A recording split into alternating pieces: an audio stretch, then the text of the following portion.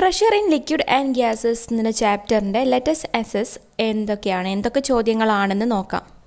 First question ആണ് find the situation that help us to understand that gas exert pressure in all direction ഇവിടെ പറയുന്നത് നമുക്ക് തന്ന കുറച്ച് സിറ്റുവേഷനിൽ ഏതൊക്കെയാണ് ഗ്യാസ് ഈക്വൽ ആയിട്ട് എല്ലാ ഭാഗത്തേക്കും പ്രഷർ എക്സേർട്ട് ചെയ്യുന്ന സിറ്റുവേഷൻ ഏതൊക്കെയാണെന്നാണ് ചോദിച്ചത്. അപ്പോൾ എ ആദ്യത്തെ ഓപ്ഷനാണ് drinking water using a straw B blowing air into a balloon C blowing of wind D rising up of steam ഇവിടെ ആൻസർ എന്ന് പറയുന്നത് ബി ആണ് blowing air into a balloon ഒരു ബലൂണിലേക്ക് എയർ നമ്മൾ ഊതുമ്പോൾ അവിടെ ഈക്വൽ ആയിട്ടാണ് എല്ലായിടത്തിലും എന്തുണ്ട്?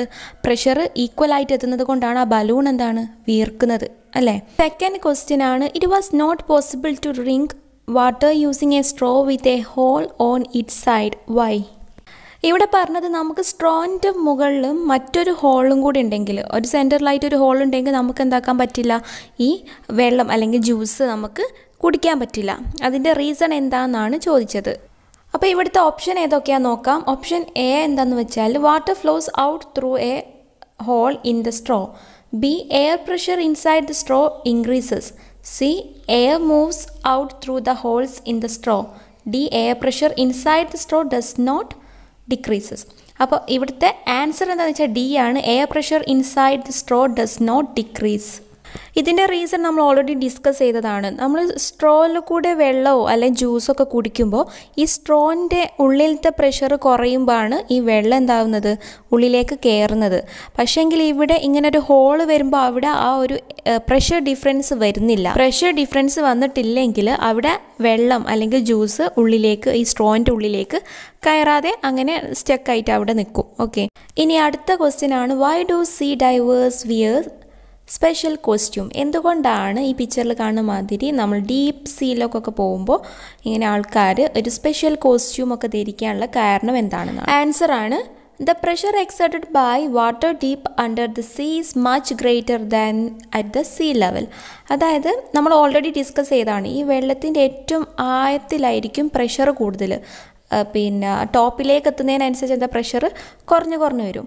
അപ്പോൾ അങ്ങനെ ഡീപ്പിലേക്ക് പോകുമ്പോൾ എന്ത് സംഭവിക്കും? അവിടെ പ്രഷർ കൂടുതലായത് കൊണ്ട് സ്വയം പ്രൊട്ടക്ഷന് വേണ്ടിയിട്ടാണ് ഇങ്ങനത്തെ സ്പെഷ്യൽ കോൺസ് കോസ്റ്റ്യൂം ഇടുന്നത്. അതായത് hence the deep sea divers wear special suit which protect them from extreme pressure of water വെള്ളത്തിന്റെ ഇങ്ങനത്തെ എക്സ്ട്രീം പ്രഷർ പ്രഷറിൽ നിന്ന് പ്രൊട്ടക്റ്റ് ചെയ്യാൻ വേണ്ടിയിട്ടാണ് ഇങ്ങനത്തെ സ്പെഷ്യൽ കോസ്റ്റ്യൂം ധരിക്കുന്നത്.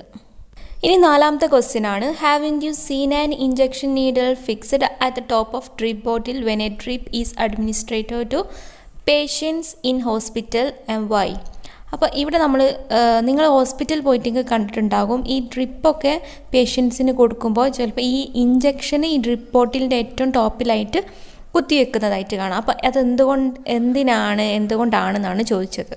അപ്പോൾ ഇവിടെ എന്താ എഴുതിയ നോക്കാം. If an injection needle is not fixed at the top of the drip bottle the medicine does not flow into the patients body അതായത് ഇപ്പോൾ ഇങ്ങനെ ഇഞ്ചക്ഷൻ നീഡിൽ നമ്മൾ അങ്ങനെ കൊടുത്തിട്ടില്ലെങ്കിൽ ഈ ട്രിപ്പ് ബോട്ടിലിന്റെ മുകളിൽ അങ്ങനെ കൊടുത്തിട്ടില്ലായിരുന്നെങ്കിൽ പേഷ്യന്റെ ബോഡിയിലേക്ക് മെഡിസിൻ ഒഴുകൂല. അല്ലെങ്കിൽ അതിലേക്ക് മെഡിസിന് എന്താവില്ല ബോഡിയിലേക്ക് കയറില്ല because the pressure inside the drip bottle is less than that of atmospheric pressure എന്താണ് ഇവിടെ പ്രഷർ ഈ ഡ്രിപ്പ് ബോട്ടിലിന്റെ ഉള്ളിലത്തെ പ്രഷർ എന്ന് പറഞ്ഞാൽ അറ്റ്മോസ്ഫിയറിക് പ്രഷറിനെക്കാട്ടിയും കുറവാണ്.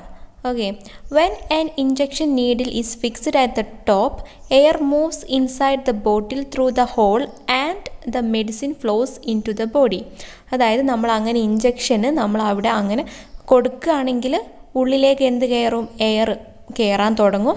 അതുപോലെ പേഷ്യന്റെ ഉള്ളിലേക്കും മെഡിസിൻ കയറും.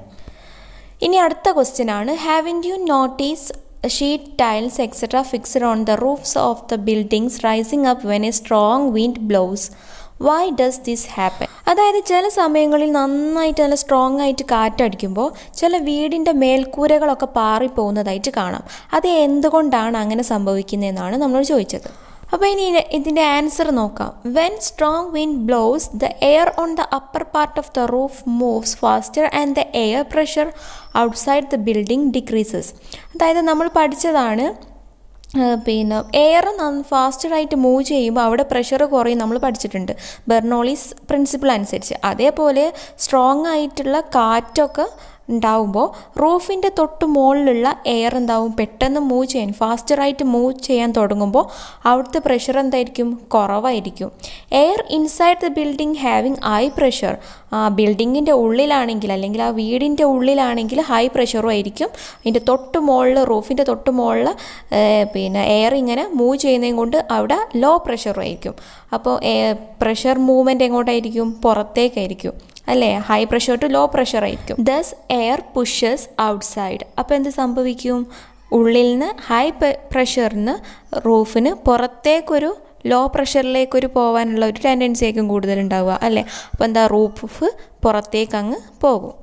അപ്പോൾ നിങ്ങളുടെ സെവൻത്ത് ചാപ്റ്റർ ആയിട്ടുള്ള pressure in liquid and gases എന്നുള്ള ചാപ്റ്റർ ഇത്രയേ ഉള്ളൂ. അപ്പോൾ ഇന്ന് ഈ ചാപ്റ്റർ അങ്ങ് കഴിഞ്ഞിട്ടുണ്ട്. അപ്പോൾ എല്ലാവർക്കും മനസ്സിലായി എന്ന് കരുതുന്നു. അപ്പോൾ എന്റെ ചാനൽ ആദ്യമായിട്ടാണ് കാണുന്നതെങ്കിൽ ലൈക്ക് ചെയ്യാനും സബ്സ്ക്രൈബ് ചെയ്യാനും മറക്കരുത്.